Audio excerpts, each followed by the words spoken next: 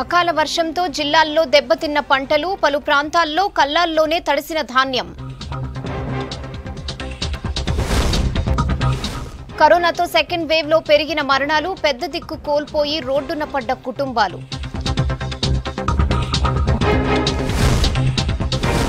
Municipal ఎన్నికల్లో టీఆర్ఎస్కు అసమ్మతి సెగ వరంగల్లో టికెట్ రాని నేతల తిరుగుబాటు. ఖమ్మంలో విపక్ష అభ్యర్థులకు టీఆర్ఎస్ బెదిరింపులు. ప్రజలే ప్రజాస్వామ్యాన్ని కాపాడాలన్న కాంగ్రెస్. భద్రాద్రిలో ఘనంగా రామయ్య పట్టాభిషేకం కరోనా నిబంధనలతో భక్తులకు నో పర్మిషన్.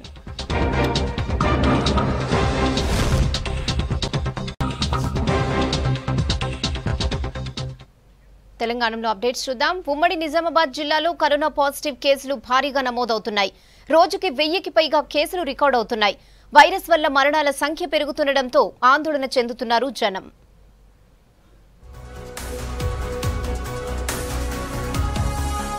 నిజామాబాద్ జిల్లాలో కరోనా వైరస్ వేగంగా విస్తరిస్తోంది. పాజిటివ్ కేసులతో పాటు మరణాల సంఖ్య పెరుగుతోంది. ఈ నెల ఇరవైన జిల్లాలో పదహారు మంది చనిపోయారు. ఉమ్మడి జిల్లాలో నలభై వేలకు పైగా పాజిటివ్ కేసులు నమోదయ్యాయి. రోజు నిజామాబాద్ జిల్లాలో నాలుగు వందలు కామారెడ్డి జిల్లాలో ఐదు వందలకు పైగా కేసులు నమోదవుతున్నాయి. మహారాష్ట్ర సరిహద్దు కావడంతో వైరస్ తీవ్రత ఎక్కువగా ఉంది. దీంతో చాలా గ్రామాల్లో స్వచ్ఛంద లాక్డౌన్ పాటిస్తున్నారు జనం. వైరస్ తీవ్రత ఎక్కువగా ఉన్న ప్రాంతాలను కంటైన్మెంట్ జోన్లుగా ప్రకటించి ఆంక్షలు అమలు చేస్తున్నారు అధికారులు. జక్రంపల్లి మండల కేంద్రంలో సుమారు మండల కేంద్రంలోనే పదహారు మంది చనిపోయినారు. అందులో ముగ్గురు కోవిడ్ పేషెంట్లు. ఇక్కడ ఏమవుతుందంటే కోవిడ్ వ్యాక్సిన్ ఉంది. కొన్నిసార్లు మనకు అందుబాటులో ఉంటుంది కొన్ని పద్ధతుల్లో మనకు అందుబాటులో ఉండలేదు. ముఖ్యంగా ఈ కరోనా పట్ల ఎవరికి అవగాహన లేకుండా పోతుంది. దయచేసి మా జక్రంపల్లి మండల కేంద్రంలో కరోనా గురించి అవగాహన కల్పిస్తే చాలామంది వాళ్ళకు ఏం కాకుండా ఉంటారు. ఉమ్మడి జిల్లాలో ఆక్సిజన్ కొరత ఎక్కువగా ఉంది. నిజామాబాద్ జిల్లా ఆసుపత్రిలో ప్రస్తుతం మూడు వందల డెబ్బై రెండు మంది ఆక్సిజన్ బెడ్స్ పై చికిత్స పొందుతున్నారు. ఇక్కడ బెడ్స్ ఖాళీగా లేవు. లిక్విడ్ ఆక్సిజన్ అందుబాటులో ఉంది. జిల్లాలోని మిగతా హాస్పిటల్స్లో ఎక్కడ ఆక్సిజన్ నిల్వలు లేవు. ప్రైవేట్ హాస్పిటల్స్ కరోనా చికిత్స చేయలేమని చేతులెత్తేశాయి. కామారెడ్డి జిల్లా ఆసుపత్రిలోనూ ఆక్సిజన్ లేదు. పేషెంట్ ఆక్సిజన్ కోసం వస్తే అడ్మిట్ చేసుకునే పరిస్థితి లేదు. జిల్లాలోని ఆర్మూర్ బోధన్ బాన్స్వాడ ఎల్లారెడ్డి ఏరియా ఆసుపత్రుల్లో బెడ్స్ లేవు ఆక్సిజన్ లేదు. జిల్లాలోని ప్రాథమిక ఆరోగ్య కేంద్రాల్లో టెస్ట్ కిట్స్ కొరత ఉంది. రోజు వందల సంఖ్యలో పరీక్షల కోసం వస్తుండడంతో కిట్స్ అయిపోయాయి. కిట్స్ లేక పరీక్షలు ఆగిపోయే పరిస్థితి ఏర్పడింది. జిల్లాలో రెమిడెసివిర్ ఇంజెక్షన్ కొరత కూడా ఉంది. కరోనా కేసులు పెరగడంతో నిజామాబాద్ బోధన్ ఆర్మూర్ కామారెడ్డి బాన్స్వాడలలో కోవిడ్ కంట్రోల్ రూమ్లు ఏర్పాటు చేశారు. అయితే ఆక్సిజన్ వ్యాక్సిన్ కొరతతో ఆందోళన చెందుతున్నారు జనం. ఏదైతే కోవిడ్ పాజిటివ్ వచ్చిన తర్వాత ఆసుపత్రుల్లోకి వెళ్తే అక్కడ బెడ్ల కొరతతో పాటు ప్రైవేట్ హాస్పిటల్కి వెళ్తే విపరీతమైన డబ్బులు దోసుకుంటా ఉన్నారు. అట్లాగే ఏదైతే ఈ రెమిడిసివర్ వ్యాక్సిన్ ఉందో అది వ్యాక్సిన్ పూర్తి స్థాయిలో కొరత ఉంది.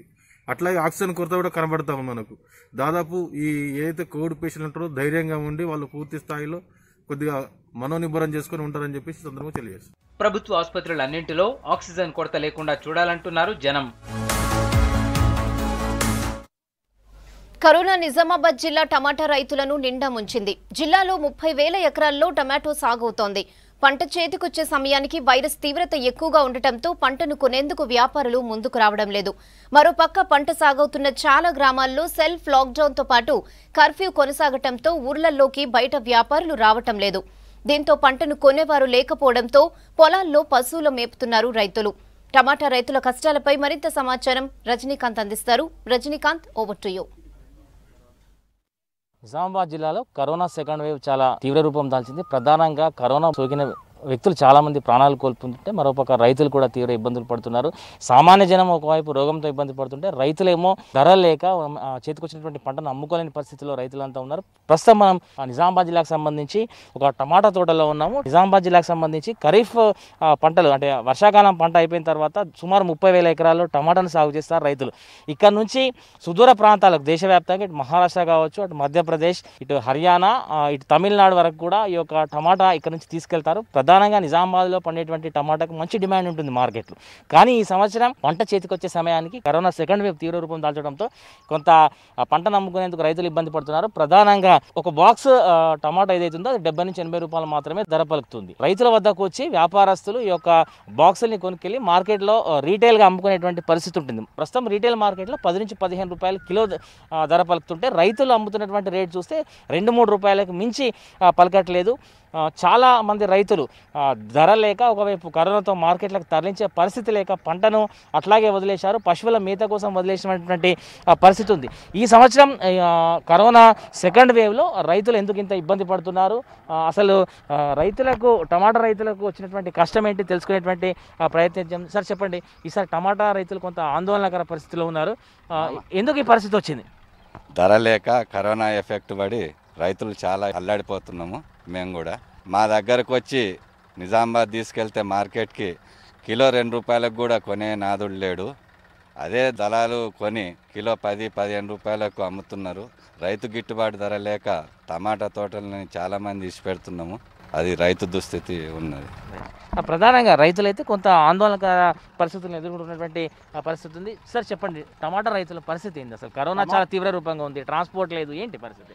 కరోనా అయ్యేబట్టి ట్రాన్స్పోర్ట్ లేదు టమాటా పండిన టమాటా అమ్మబోతే ఎనభై ఎనభై రూపాయలకు క్యారెట్ అమ్ముతుర్రు ఇక్కడ పంట తెంపేటోళ్ళు లేరు. పంట అంతా ఖరాబ్ అవుతుంది. ఏం చేయాలా? పరిస్థితి అంత ఘోరం ఉన్నది. పంట అంతా తెంపేటోళ్ళు లేరు. చేను లిడ్సబెట్టే పరిస్థితి వచ్చింది.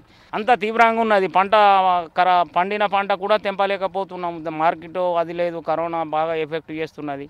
మీరు చెప్పండి చాలా ప్రాంతాల్లో పంట ధర లేదని చెప్పి పశువుల మేత కోసం వదిలేసినటువంటి పరిస్థితి ఉంది. ప్రస్తుతం ఈ గ్రామంలో కూడా చాలామంది రైతులు అట్లా చేశారనేటువంటి సమాచారం ఉంది.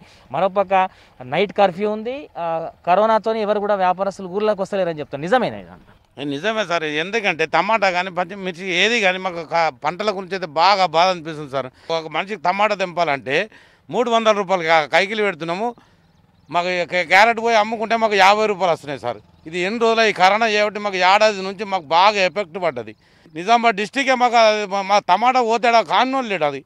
మాకైతే లబ్బాది ఉన్నది సార్ ఏం చేస్తారో మీకు తెలుసు అది. ఇప్పుడు టమాటా రైతులు నష్టపోయారు. ఏం చేస్తే రైతులు కోలుకుంటారు? టమాటా రైతులకు ఏం కావాలి ఇప్పుడు? ఈ కరోనా వల్ల ఈ వ్యాపారులు ఏమో ఇక్కడ యాభై రూపాయలు అక్కడ తీసుకుంటారు ఇక్కడ వచ్చి పదిహేను రూపాయలు పదిహేను రూపాయలు ఇట్లా అమ్ముతారు మా ఏమో తీసుకుంటారు లేరు. ఈ కరోనా ఇంత- ఇంతకు ముందు మహారాష్ట్ర వేరే ప్రాంతాలు ఇక్కడ నుంచి పోతుంది ఇప్పుడు అక్కడ నుంచి వస్తుంది. ఇది కూడా కొంచెం ఏమైనా అక్కడ నుంచి వాళ్ళు బాక్సులలో పంపించుకుంటా ట్రాన్స్పోర్ట్ వాళ్ళు ఏం చేస్తున్నట్టు ఇక్కడ ధర వేరకుంటాయి దళాలు వాళ్ళు అక్కడికి వెళ్ళి తెచ్చి నిజామాబాద్ మార్కెట్లో వేసి నిజామాబాద్ మార్కెట్ దెబ్బతీస్తున్నారు వాళ్ళు చేసే దళాల వల్ల మేము మాకు ఇక్కడ నిజామాబాద్ రైతులంతా నష్టపోతుండ్రు. అది కూడా ట్రాన్స్పోర్ట్ రాకుండా ఉంటే ఈ నిజామాబాద్ జిల్లా మార్కెట్ ఏ కూరగాయలైనా బ్రహ్మాండంగా నడిచేది. ట్రాన్స్పోర్ట్ సౌకర్యం లేకపోవడము మరోపక్క మార్కెట్లో ధర లేకపోవడము దానికి తోడు కరోనా సెకండ్ వేవ్ తీవ్ర రూపం దాల్చడంతో తమ పంటను కొనేందుకు ఎవరు ముందుకు రాకపోవడంతో రైతులు టమాటా రైతులు తీవ్రంగా నష్టపోతున్నటువంటి విషయాన్ని చెప్తున్నారు. ప్రభుత్వమే ఈ యొక్క టమాటా రైతులను ఆదుకోవాలి వాడికి ఎంతో కొంత రాయితీలు అందించాలి కొంత నష్టపరిహారం కూడా చెల్లించినటువంటి విషయాన్ని రైతులు చెప్తున్నారు. Camera person రాజేష్తో Rajinikanth V six news Nizamabad. Nizamabad జిల్లాలోని అనేక కుటుంబాల్లో కరోనా వైరస్ తీవ్ర విషాదాన్ని నింపింది. కొన్ని చోట్ల ఒకే ఇంట్లో ఇద్దరు ముగ్గురు వైరస్తో చనిపోయారు. గంటల వ్యవధిలోనే ఆత్మీయులు అయిన వారిని కోల్పోయే పరిస్థితి. పెద్ద దిక్కును కోల్పోయి అనేక కుటుంబాలు రోడ్డున పడే పరిస్థితి ఏర్పడింది.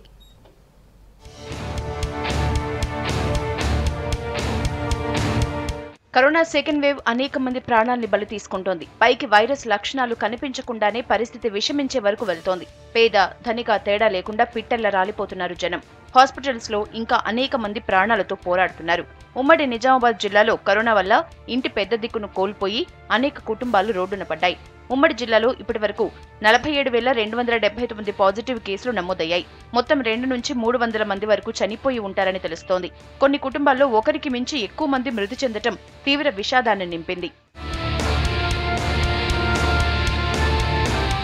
మంగళవారం నిజామాబాద్ జిల్లా ఆర్మూర్ పట్టణానికి చెందిన ఎంఐఎం నాయకుడు గోరెమియా కరోనాతో హైదరాబాద్లో కన్నుమూశారు. బుధవారం ఉదయం కుటుంబ సభ్యులు బంధువులు గోరెమియా అంత్యక్రియలు జరిపి వచ్చేలోపే ఇంటి దగ్గర ఆయన భార్య ఫైమ్ బేగం చనిపోయింది. ప్రజలకు ఉపయోగపడుతుందని పది రోజుల కిందట ఖబరిస్తాన్ను ఏర్పాటు చేశారు గోరెమియ్య ఇందులో మొదటిగా ఆయన డెడ్ బాడీనే ఖననం చేయటం అందరినీ కంటతడి పెట్టించింది.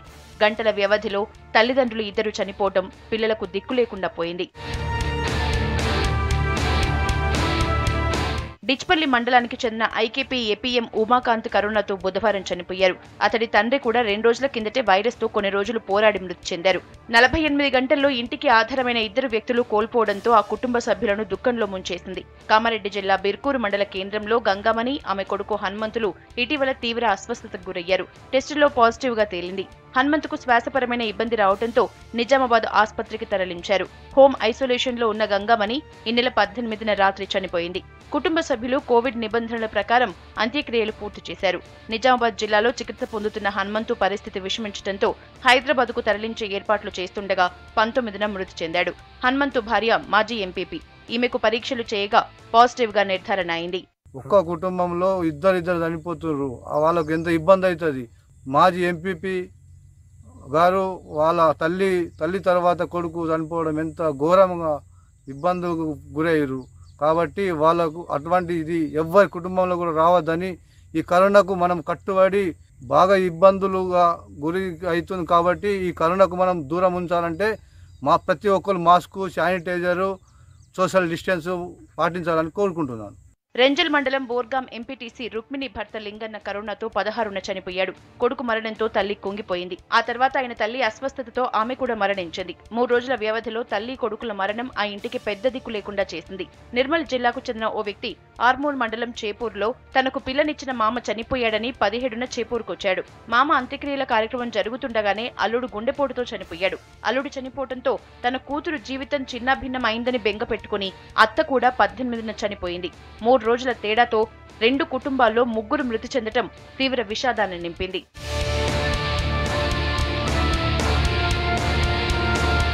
నిజామాబాద్ నగరంలోని వినాయక్ నగర్లో ఓ విద్యాసంస్థ అధినేత కుటుంబంలోనూ కరోనా విషాదం నింపింది. ఆయన తల్లి సోదరి కరోనా బారిన పడ్డారు. కోలుకుంటున్నట్లే కనిపించి చివరకు ఇద్దరూ ప్రాణాలు కోల్పోయారు. ఇరవై నాలుగు గంటల వ్యవధిలో తల్లి కూతురు చనిపోవటం ఆ రెండు కుటుంబాల్లో కోలుకోలేని నష్టాన్ని మిగిల్చింది. రెమ్డెసివిర్ ఇంజెక్షన్ల సరఫరాలో కేంద్రం తీరు సరిగా లేదన్నారు మంత్రి ఈటెల రాజేందర్. రాష్ట్రంలో ఆక్సిజన్ కొరత వస్తే కేంద్రానిదే బాధ్యత అన్నారు. వ్యాక్సిన్ పంపిణీపై ముందు నుంచే కేంద్రాన్ని కోరుతున్నామని చెప్పారు ఈటెల. రాష్ట్రాల విజ్ఞప్తులను కేంద్రం పట్టించుకోవట్లేదని ఆవేదన వ్యక్తం చేశారు. పూర్తి స్థాయిలో ఆర్టీపీసీఆర్ టెస్టులపై ఆధారపడలేమని రాష్ట్రంలో ఆర్టీపీసీఆర్ టెస్టుల కెపాసిటీ ముప్పై వేలేనని చెప్పారు ఈటెల. కరోనా సెకండ్ ఫేజ్లో మళ్ళీ ఎంటర్ అయిన మనం.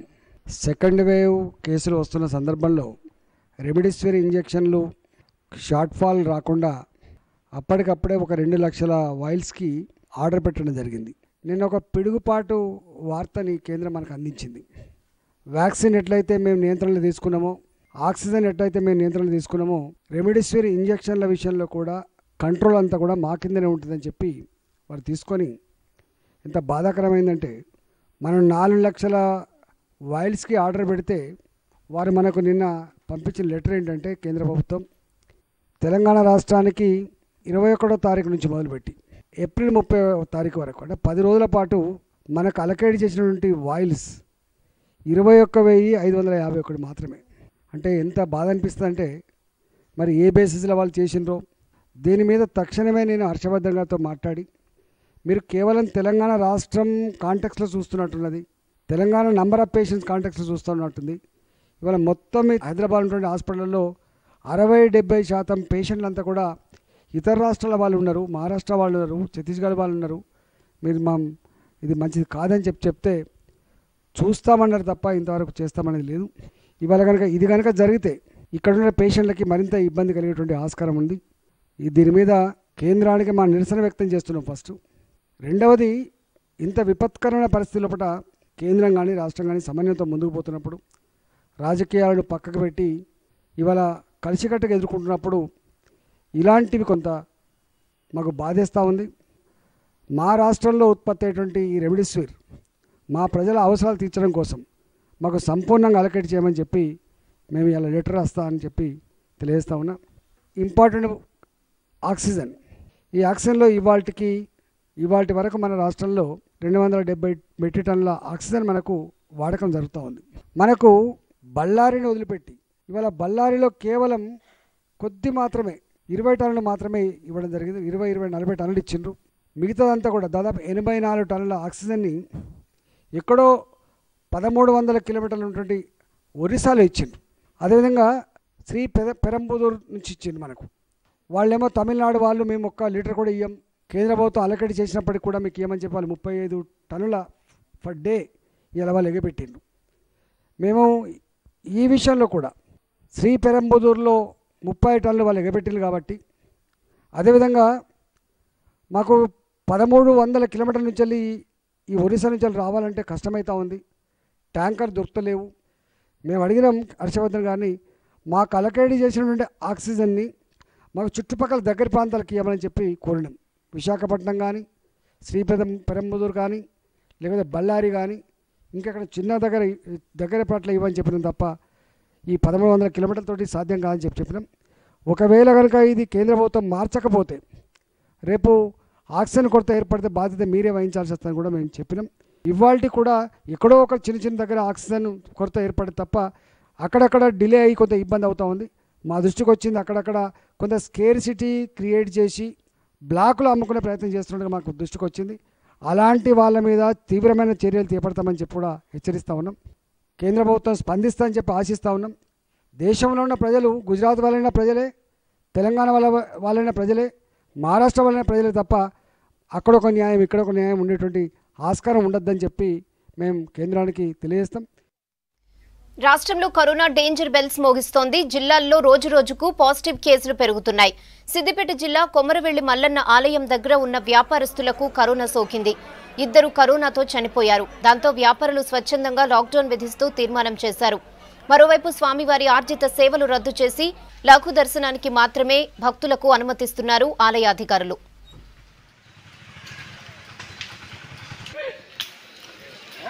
ఒక ప్రజాప్రతినిధి అంత తప్పులు రాయొద్దు. కుమ్రం భీం ఆసిఫాబాద్ జిల్లా కౌటాల మండల కేంద్రంలో స్వచ్ఛందంగా లాక్డౌన్ ప్రకటించుకున్నారు వ్యాపారులు. కరోనా కేసులు పెరగడంతో ఈ నిర్ణయం తీసుకున్నారు. ఉదయం ఆరు గంటల నుంచి మధ్యాహ్నం ఒంటి గంట వరకే షాపులు తెరిచి ఉంచాలని నిర్ణయించారు. మే ఒకటి వరకు లాక్డౌన్ కొనసాగుతుందంటున్నారు.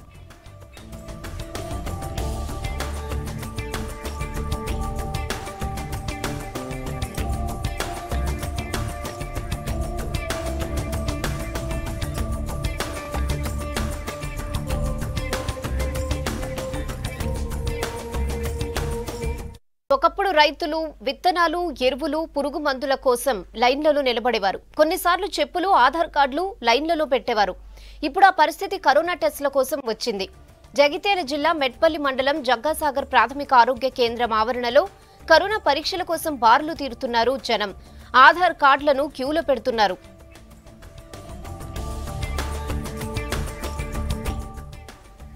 జగ్గాసాగర్ పీహెచ్సికి చుట్టుపక్కల గ్రామాల నుంచి కరోనా టెస్టులు చేయించుకోవడానికి జనం వస్తున్నారు. అయితే కిట్ల కొరత ఉండడంతో వైద్య సిబ్బంది వంద మాత్రమే పరీక్షలు చేస్తున్నారు. మిగిలిన వారు మరో రోజు రావాల్సి వస్తోంది. దీంతో టెస్టుల కోసం వచ్చేవారు తెల్లవారుజామున మూడు గంటలకే పీహెచ్సీ దగ్గరికి ఆధార్ కార్డులను వరుస క్రమంలో పెడుతున్నారు. టెస్ట్ కిట్ల కొరత తీర్చి త్వరగా పరీక్షలు జరిగేలా చూడాలని కోరుతున్నారు జనం. కరోనా టెస్ట్ల కొరత తీవ్రంగా ఉంది. ఇక్కడికి జనాభా దాదాపుగా జనాలు కరోనా భయంతో దాదాపు మూడు నుంచి నాలుగు వందల మంది జగ్గసార్కు కేసీకి వస్తారు వాళ్ళకి సరైన కిట్లు లేవు. డైలీ వంద కిట్ల కంటే ఎక్కువ వస్తలేవాడు వాళ్ళకు. వాళ్ళ డాక్టర్లు ఏమంటారు అంటే మాకు వంద కిట్ల కంటే ఎక్కువ వస్తలేదు. వంద కిట్లు వస్తున్నాయి. వంద కిట్లే ఇస్తాం వంద కంటే ఎక్కువ వేయము. వంద కిట్ల కంటే ఎక్కువ చేసి పరిస్థితి లేవు మేము. మా లేవు అని చెప్పి అందరినీ వెళ్ళగొడుతుంది వెళ్ళగొడితే వాళ్ళు పాపము మధ్య ఎర్లీ మార్నింగ్ మూడు గంటలకు వచ్చి ఆధార్ కార్డు లైన్లో పెట్టుకొని తీవ్ర ఇబ్బందులు పడుతున్నారు దీన్ని దృష్టిలో ఉంచుకొని ఖచ్చితంగా గవర్నమెంట్ కరోనా కిట్లు ఎక్కువ పంపించ పంపి పంపించే ప్రయత్నం చేయాలి. దీన్ని ఖచ్చితంగా ప్రతి నాయకుడు కూడా టార్గెట్కు మించి టెస్టులు చేస్తుండటంతోనే కిట్ల కొరత ఏర్పడిందన్నారు రంగారెడ్డి జిల్లా డిఎంహెచ్ఓ స్వరాజ్య లక్ష్మి. కిట్లు తక్కువగా ఉండడంతో సిమ్టమ్స్ ఉన్నవాళ్ళే టెస్టులకు రావాలని చెప్పారు. ప్రాథమిక ఆరోగ్య కేంద్రాల్లో ఒకేసారి వ్యాక్సినేషన్ టెస్టులు జరుగుతుండటంతోనే సిబ్బంది కొరత ఉందన్నారు స్వరాజ్యలక్ష్మి సో మనకేంటంటే district hospital only Kondapur hospital ఉన్నది. కొండాపూర్లో మనకి one hundred and thirty beds కోవిడ్కి కేటాయించడం అయింది. అక్కడ అవైలబిలిటీ ఉన్నాయి. సో దాని తర్వాత మనకి టిమ్స్లో కూడా అడ్మిషన్స్ జరుగుతున్నాయి. సో ప్రైవేట్లో మనకి ఇప్పటిదాకా కూడా దాదాపుగా అరవై హాస్పిటల్స్ వాళ్ళు కోవిడ్ ట్రీట్మెంట్ గురించి అప్లికేషన్ తీసుకున్నారు. వాళ్ళందరినీ కూడా మనము స్టేట్కి ఫార్వర్డ్ చేసాం వాళ్ళందరికీ కూడా లాగిన్ పాస్వర్డ్స్ ఇచ్చారు. బెడ్స్ అవైలబుల్ అయినది కొన్ని పెద్ద హాస్పిటల్స్లోనే ఫర్ ఎగ్జాంపుల్ ఇప్పుడు కాంటినెంటల్ ఉన్నది ఏజీ ఉన్నది ఇలా కేర్ ఉన్నది దాంట్లోనే ప్రతి ఒక్కరు కూడా అడ్మిషన్ కావాలనుకుంటారు. అలా కాకుండా మిడిల్ సైడ్ నర్సింగ్ హోమ్స్ అన్నిటికీ కూడా ట్వంటీ బెడెడ్ అబవ్ ఏవైతే ఉన్నాయో అక్కడ అక్కడ ఎక్కడైతే మనకి ఫిజిషియన్ అండ్ ఐసీయూ ఫెసిలిటీ ఉన్నదో వాళ్ళందరికీ కూడా పర్మిషన్ ఇవ్వడం జరిగింది. వాళ్ళందరూ కూడా కోవిడ్ ట్రీట్మెంట్ చేస్తున్నారు. సో ప్రజలందరూ కూడా ఈ మిడిల్ లెవెల్ నర్సింగ్ హోమ్స్లో కూడా కోవిడ్ బెడ్స్ అవైలబుల్ ఉన్నాయి. సో దాని సర్వీసెస్ కూడా యూటిలైజ్ చేసుకోవచ్చు. ఎనభై నుంచి ఎనభై ఐదు శాతం పాజిటివిటీ వచ్చిన కేసులన్నీ కూడా మనం ఇంట్లోనే వాళ్ళకు హోమ్ ఐసోలేషన్ కిట్స్ ఇచ్చి ట్రీట్మెంట్ ఇస్తున్నాం. సో దీనిలో ఆక్సిజన్ అవసరం ఉన్న వాళ్ళు కేవలం ఐదు నుంచి ఏడు శాతం మాత్రమే ఉంటారు. సో దీనిలో ఐసీయూ బెడ్స్ అవసరమైన వాళ్ళు త్రీ టు ఫోర్ పర్సెంట్ మాత్రమే ఉంటారు. సో మనము ఈ టెస్ట్ల గురించి వ్యాక్సినేషన్ గురించి చాలా మటుకు మొబిలైజ్ చేశాము. మీరు ఆల్రెడీ చూస్తున్నారు టెస్ట్లు వ్యాక్సినేషన్ అర్బన్ ఏరియాస్లో చాలా ఎక్కువగా జరుగుతున్నాయి. మన జిల్లా టార్గెట్కి వచ్చినప్పుడు అయితే రెండు వేల ఎనిమిది వందల ర్యాపిడ్ టెస్ట్లు మనం పర్ డే చేయాలి. కానీ గత పదిహేను రోజులుగా మనం దాదాపు ఆరు నుంచి ఏడు వేల టెస్ట్లు పర్ డే చేస్తున్నాము. వీళ్ళందరిలో కూడా ఎక్కడైతే పాజిటివిటీ వస్తుందో వాళ్ళందరికీ కూడా మనం హోమ్ ఐసోలేషన్ చేస్తున్నాం. వాళ్ళ కాంటాక్ట్ ట్రేసింగ్ చేస్తున్నాం. వరంగల్ అర్బన్ జిల్లాలో టికెట్ రాని అభ్యర్థుల నిరసన పర్వం కొనసాగుతోంది. ఇరవై నాలుగవ డివిజన్ టికెట్ తనకే కేటాయించాలని డిమాండ్ చేస్తూ టీఆర్ఎస్ నేత శోభారాణి బిల్డింగ్ పైకి ఎక్కి పెట్రోల్ బాటిల్తో నిరసన తెలిపింది. గతంలో తనని టీఆర్ఎస్ అర్బన్ అధ్యక్షురాల్ని చేశారని టికెట్పై సీఎం కేసీఆర్ మంత్రి కేటీఆర్ హామీ ఇవ్వడంతో ఆశలు పెట్టుకున్నారని చెప్తోంది. మేడం ఒక్కసారి లేచి కూర్చోరా అంటే మేడం మేడం, ఒక్కసారి లేచి కూర్చో టీఆర్ఎస్లో ఉద్యమకారులకు అన్యాయం జరుగుతోందని అన్నారు. ఇరవై నాలుగవ డివిజన్లో నామినేషన్ దాఖలు చేశానని బీఫామ్ యాభై లక్షలు డిమాండ్ చేశారని ఆవేదన వ్యక్తం చేశారు. టికెట్ ఇవ్వకుంటే పెట్రోల్ పోసుకుంటానని శోభారాణి హెచ్చరించారు. నిన్న టీఆర్ఎస్ నేత దర్శన్ సింగ్ సెల్ టవర్ ఎక్కి నిరసన తెలిపారు. ఆమె స్పృహ తప్పి పడిపోవడంతో పోలీసులు హాస్పిటల్కి తరలించారు.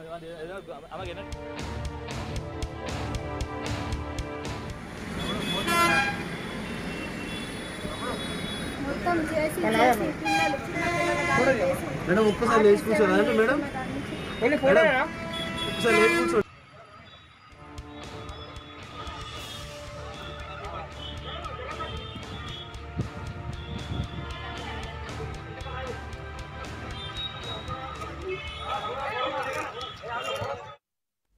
ఖమ్మం కార్పొరేషన్ ఎన్నికల నామినేషన్ల విత్డ్రా కార్యక్రమం ముగిసింది. అరవై డివిజన్లలో ఐదు వందల ఇరవై రెండు నామినేషన్లు దాఖలయ్యాయి. స్క్రూటినీలో తొమ్మిది రిజెక్ట్ అయ్యాయి. మొత్తం నాలుగు వందల పదమూడు మంది అభ్యర్థులు బరిలో నిలిచారు. పోటీలో ఉన్న నేతలను బుజ్జగించి విత్డ్రా చేయించారు పార్టీ నేతలు. కొందరికి పదవుల ఆశ చూపి సైలెంట్ చేశారు. బీజేపీ నలభై ఆరు మందికి బీఫామ్లు ఇచ్చింది. జనసేనతో ఆరు డివిజన్లలో బీజేపీ పొత్తు పెట్టుకుంది. టీఆర్ఎస్ పార్టీ యాభై ఏడు డివిజన్లలో పోటీ చేస్తోంది. సిపిఐకి నాలుగు డివిజన్లు కేటాయించింది. కాంగ్రెస్తో సిపిఎం కలిసి పోటీ చేస్తున్నాయి. సిపిఎంకు ఎనిమిది డివిజన్లు కేటాయించింది కాంగ్రెస్. పదిహేను ఐదు డివిజన్లలో రెండు పార్టీలు స్నేహపూర్వక పోటీ చేస్తున్నాయి. పదవ డివిజన్లో పోటీ చేసిన కాంగ్రెస్ అభ్యర్థి ధనలక్ష్మి టీఆర్ఎస్లో చేరడంతో ఆ డివిజన్ ఏకగ్రీవమైంది.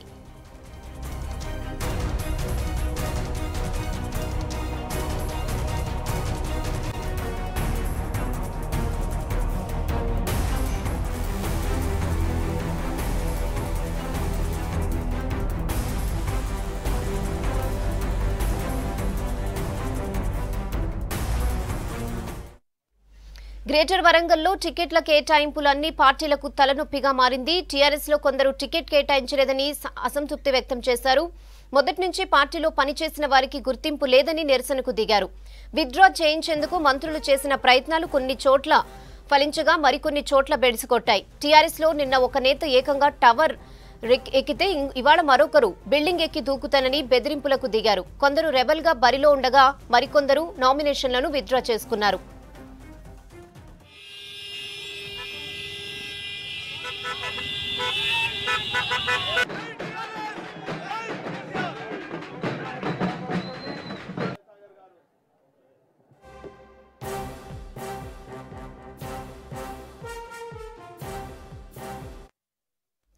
కేంద్ర ప్రభుత్వం నిధులతోనే వరంగల్ అభివృద్ధి జరిగిందన్నారు మాజీ ఎమ్మెల్సీ కపిలవాయి దిలీప్ కుమార్. టీఆర్ఎస్ ప్రభుత్వం చేసిందేమీ లేదన్నారు.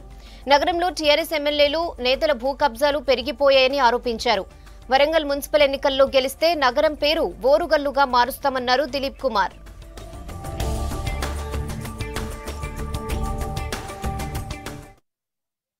ఎన్నో స్కీమ్ల ద్వారా గవర్నమెంట్ ఆఫ్ ఇండియా డబ్బులు అందిస్తుంటే అవి కూడా లోకల్గా తామే ఖర్చు పెడుతున్నట్టుగా కేసీఆర్ ప్రగల్భాలు చెప్పుకుంటా ఉన్నాడు.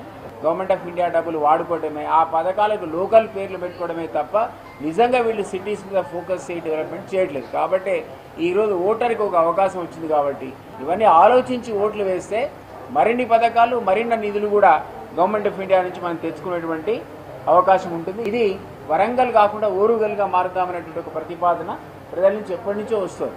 ఒకవేళ మీరు కనుక మీ ద్వారా నేను అప్పీల్ చేస్తున్న ఓటర్కి మా వాళ్ళని మెజారిటీతో గెలిపించండి. మా వాళ్ళు కనుక మేయర్గా ఇక్కడ అయ్యారనుకోండి ఖచ్చితంగా సిటీ పేరు మాత్రం ఓరుగల్గా మార్చేటువంటి ఖమ్మం మున్సిపల్ ఎన్నికల్లో విపక్ష అభ్యర్థులను మంత్రి ఫోన్ చేసి బెదిరిస్తున్నారన్నారు సీఎల్పీ నేత Bhatti Vikramarka Congress working president Ponnam Prabhakar.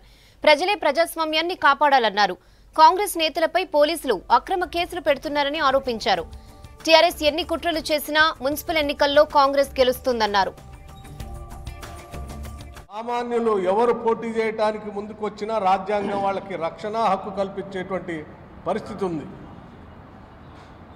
ఆ రకంగా ప్రజాస్వామ్యంలో నిలబట్టడానికి ముందుకు వచ్చేటువంటి వాళ్ళకి ఫోన్లు చేసి బెదిరించి మీరు విత్డ్రా చేసుకోండి అని చేసుకోకపోతే మీ అంతు చూస్తామని చెప్పేటువంటి మంత్రి నా దృష్టిలో అతను మంత్రి వర్గంలో అతను ఉండటానికే అర్హత కోల్పోయినట్టుగా భావిస్తూ ఉన్నాను.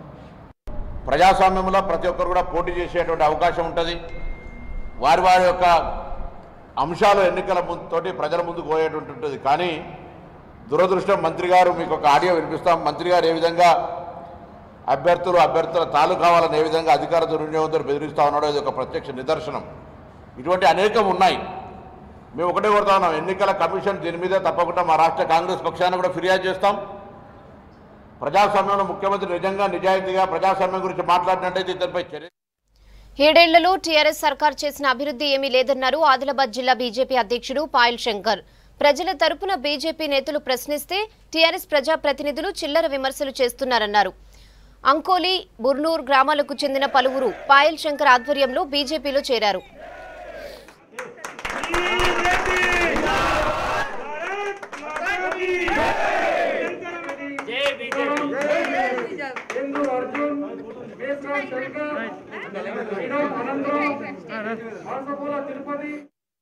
పల్లెల్లోనే కాదు పట్టణాల్లో జరిగే ఎన్నికల బరిలోనూ మహిళా నేతలు సత్తా చాటుతున్నారు. పురుషులతో సమానంగా పురపోరుకు సై అంటున్నారు.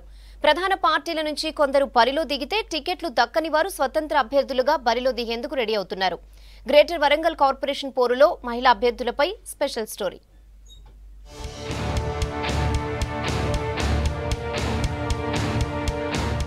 రాణి రుద్రమదేవి చాకలి ఆయిలమ్మలకు వారసులుగా వరంగల్ కార్పొరేషన్లో సత్తా చాటేందుకు రెడీ అవుతున్నారు మహిళా మణులు. పౌరుషాల గడ్డపై పురుషులతో సమానంగా రాజకీయాల్లో తమ ముద్ర వేయాలని భావిస్తున్నారు. ప్రస్తుత కార్పొరేషన్ ఎన్నికల్లో యాభై శాతం సీట్లు ఈసారి మహిళలకు దక్కాయి. కార్పొరేషన్ పరిధిలో అరవై ఆరు డివిజన్లుండగా అందులో మహిళలకు ముప్పై మూడు డివిజన్లు రిజర్వ్ చేశారు. వీటితో పాటుగా జనరల్ కేటగిరీలోని డివిజన్లలోనూ వీరు పోటీ చేసేందుకు నామినేషన్లు వేశారు. దీంతో ఈసారి పాలకవర్గంలో మహిళలదే కీలక పాత్ర కానుంది. అయితే పోటీ చేసే అవకాశాలున్న చోట పూర్తి స్థాయిలో స్వేచ్ఛ ఇవ్వాలని అంటున్నారు మహిళా నేతలు. మేము పంతొమ్మిదో డివిజన్ నుండి నామినేషన్ వేయడానికి వచ్చాము టీఆర్ఎస్ ప్రభుత్వం ద్వారా. ఎందుకంటే మహిళలకు మా డివిజన్లో ఉన్న మా డివిజన్లో తొమ్మిది వేల ఐదు వందల ఎనభై ఏడు ఓట్లు ఉన్నాయి. అందులో మహిళలయే ఎక్కువ ఉన్నాయి. కాబట్టి ఎందుకంటే ఇప్పుడు ఏ ప్రభుత్వం కూడా మహిళలకు ఇంత ప్రియారిటీ ఇవ్వలేదు ఇప్పుడు మహిళలకు మంచి రిజర్వేషన్ కల్పించింది కాబట్టి మహిళలందరూ కూడా ముందుకు రావడానికి ఎంతో ఆసక్తికరంగా ఉన్నది. గ్రేటర్ వరంగల్ మున్సిపల్ కార్పొరేషన్ ఎన్నికల్లో ఈసారి పోటీ చేసే మహిళల సంఖ్య మరింత పెరిగిపోవడమే మహిళా చైతన్యానికి ప్రతీకగా చెప్పుకుంటున్నారు. గత పాలకవర్గంలో ముప్పై మంది మహిళలు ప్రాతినిధ్యం వహించారు. రెండు జనరల్ స్థానాల్లో కూడా మహిళలు గెలుపొందారు. అయితే ఈసారి ఇంకా ఎక్కువ మంది మహిళలకు అవకాశాలున్నాయని చెప్తున్నారు రాజకీయ విశ్లేషకులు. పంతొమ్మిది వందల తొంభై ఐదు పాలకవర్గంలో పదిహేడు మంది రెండు వేలవ సంవత్సరం పాలకవర్గంలో పదిహేడు మంది రెండు వేల ఐదులో పద్దెనిమిది మంది మహిళలు కార్పొరేటర్లుగా గెలిచారు. రెండు వేల ఐదులో మేయర్ స్థానం జనరల్ మహిళకు కేటాయించారు. పరోక్ష ఎన్నికల్లో ఎర్రబెల్లి స్వర్ణ మేయర్గా ఐదేళ్ళ పాటు పదవిలో కొనసాగారు. ఈరోజు మరి యాభై శాతం రిజర్వేషన్లు ఇచ్చినప్పుడు కూడా వాళ్ళకు ఎంకరేజ్మెంట్ ఇవ్వాలి. వాళ్ళ పని వాళ్ళు చేసుకునేటట్టు కూడా స్వేచ్ఛ స్వేచ్ఛా స్వాతంత్రం ఇస్తేనే వాళ్ళ శక్తి సామర్థ్యాలు అనేవి బయటపడతాయి కాబట్టి ఆ విధంగా ప్రభుత్వాలు కానీ మరి రాజకీయ పార్టీలు కూడా అన్ని తగిన ప్రోత్సాహం కల్పించాలని చెప్పేసి కూడా మేము మహిళా సమైక్య తరఫున కోరుతా ఉన్నాం. ప్రస్తుతం మేయర్ స్థానం బీసీ జనరల్ అయింది. మేయర్ సీటుతో పాటు ఇరవై డివిజన్లు బీసీలకు కేటాయించారు. ఇందులో పది డివిజన్లు బీసీ మహిళలకు రిజర్వ్ చేశారు. పంతొమ్మిది వందల తొంభై ఐదులో తొలిసారి వరంగల్ మేయర్ స్థానాన్ని బీసీ మహిళలకు కేటాయించారు. ప్రత్యేక ఎన్నికల్లో మేయర్గా కాకుమాను పద్మావతి గెలుపొందారు. అయితే ఈసారి కూడా పార్టీ కోసం కష్టపడ్డ మహిళలకే పార్టీ టికెట్లు దక్కాలన్న డిమాండ్ వినిపిస్తోంది.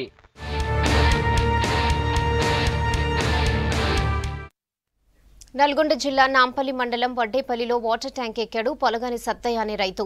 తన భూమిని కొందరు అక్రమంగా పట్టా చేయించుకున్నారని ఆవేదన వ్యక్తం చేశాడు. న్యాయం చేయాలంటూ రెండేళ్ళుగా తిరుగుతున్నా అధికారులు పట్టించుకోవడం లేదని చెప్పాడు. రెవెన్యూ పోలీస్ అధికారులు డబ్బుల కమ్ముడు పోయి తనకు అన్యాయం చేస్తున్నారని ఆరోపించాడు రైతు పొలగాని సత్తయ్య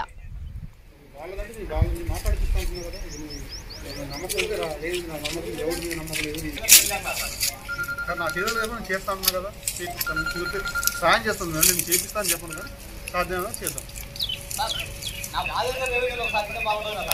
అరే బాబు ఇది వినిపిస్తా అంటున్నా కదా నువ్వు రా నేను మాట్లాడి నువ్వు కావాలంటే పదిసార్లు కింద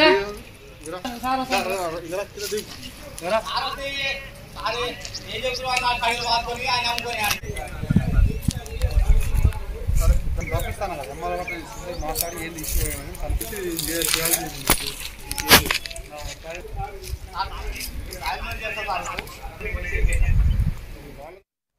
జయశంకర్ భూపాలపల్లి జిల్లాలోని పలు మండలాల్లోనూ అకాల వర్షానికి పంటలు దెబ్బతిన్నాయి. జిల్లాలోని చిట్యాల రేగొండ ఘనపురం భూపాలపల్లి మొగుళ్ళపల్లి మండలాల్లో కురిసిన వర్షానికి మిర్చి వరి మొక్కజొన్న పంటలు తడిసిపోయాయి. చేతికొచ్చిన పంటలు నీట మునగడంతో రైతులు ఆవేదన వ్యక్తం చేస్తున్నారు. తమని ప్రభుత్వమే ఆదుకోవాలని డిమాండ్ చేస్తున్నారు.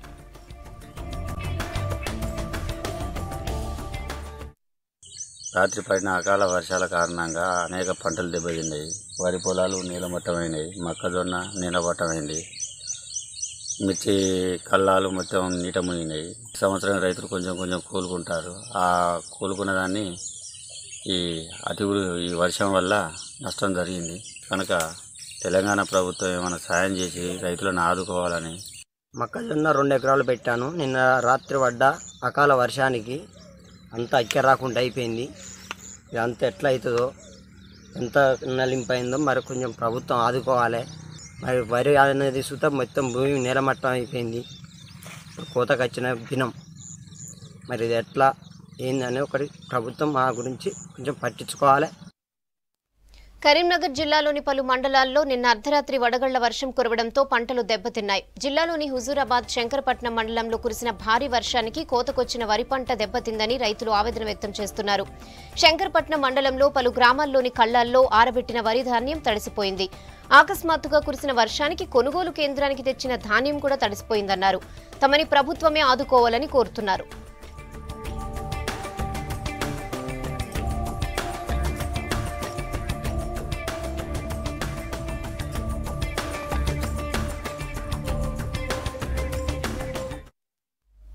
మంచిర్యాల జిల్లా చెన్నూరు గెర్రె కాలనీలో ప్రభుత్వ కార్యాలయ భూమిలో అక్రమంగా నిర్మించిన ప్రహరీ గోడను కూల్చివేయించారు తహసీల్దార్ జ్యోతి. ప్రభుత్వ భూములను కబ్జా చేస్తే ఊరుకోబోమని చెప్పారు. కబ్జాదారులు ఎంతటి వారైనా కఠిన చర్యలు తప్పవని హెచ్చరించారు అధికారులు.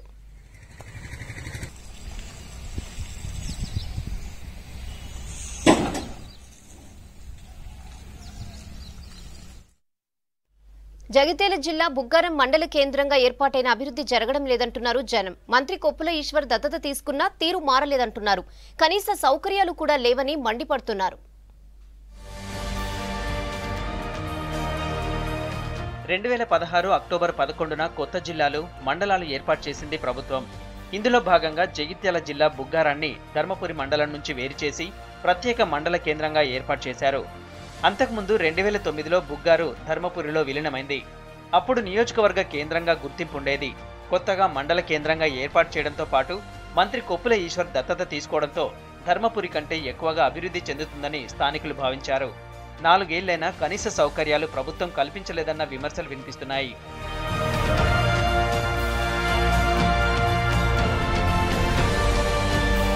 మండల పరిషత్